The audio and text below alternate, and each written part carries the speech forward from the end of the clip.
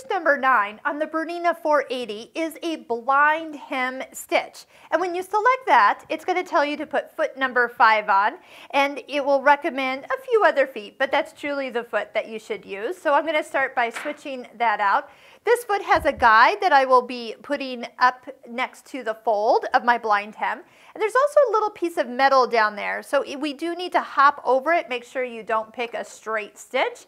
Then There is a thread groove down the front of this foot. So I always slip my needle thread down through there. Another way that you can get to the blind hem is to actually go into the creative consultant. So if you were to tell the machine that you're using a lightweight fabric or a heavier fabric, for example, I'm going to pick just a slightly heavier fabric these are techniques. I'm going to pick the blind hem and it tells me which stitch it's going to, which foot I need, needle and thread. So when I pick that, you will find that it actually changed it just a little bit past where that default setting was. It actually moved my needle just a little bit um, wider. It also adjusted my stitch length a little bit wider than original, and that's because the fabric's a little thicker.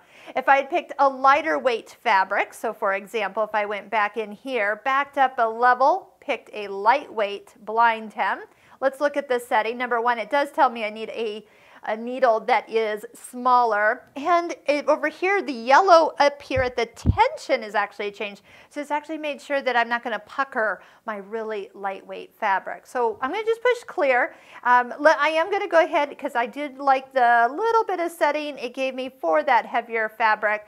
Oh, one other thing, look at this. If you pick a stretchy fabric and a blind hem, Watch what it picks. It picks the, no, it doesn't pick. I was thinking it picked the stretch blind hem, but that stitch must not be in this machine. Never mind. But it does adjust the tension, make the stitch length a little bit longer. That would allow it for some extra stitching on stretchy fabric. So now to fold the fabric, you're going to go ahead, press up your hem of your garment, and then fold back. This fold is what we're going to run right next to the blade of the fold of the fabric. You also see that the little dot is going to start in on my fold first. So I can even quickly, gently lower that needle down and see if it's going to catch in the fold. If it catches too much, I can adjust it.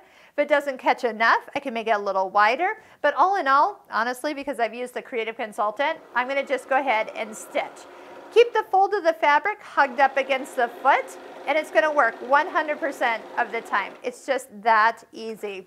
My mom did alterations when I grew up, so I am always remembering all the work that she had to do for clients because instead of doing it by hand, she always did it by machine.